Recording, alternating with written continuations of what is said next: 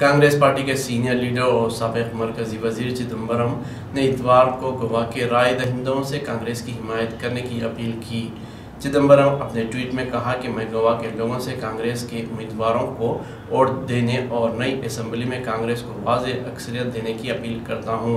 इन्होंने मजीद कहा कि मुझे गोवा के लोगों की भलाई और एक अच्छी और ऐसी हुकूमत मंतखब करने की इनके जोश पर यकीन है जो लोगों को तरक्की, रोज़गार और सिक्योरिटी फराहम करेगी।